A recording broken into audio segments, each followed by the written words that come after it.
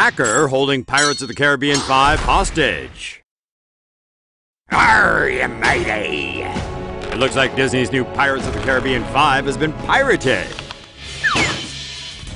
Walt Disney CEO Bob Iger spilled the beans at an ABC town hall meeting in New York, saying hackers reportedly pilfered the movie and are holding it for ransom. The hackers are demanding a pirate's booty of gold coins, bitcoins to be exact, in exchange for not leaking the movie. Disney is refusing to pay, while the studio is working with federal investigators to catch the culprits. Shiver me timbers!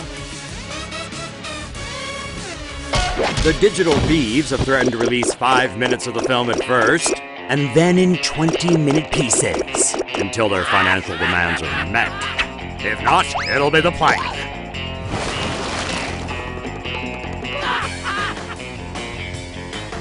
Pirates of the Caribbean Dead Men Tell No Tales is set to open on May 26th.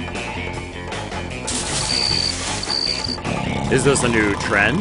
More importantly, will anyone even watch Pirates 5 at the free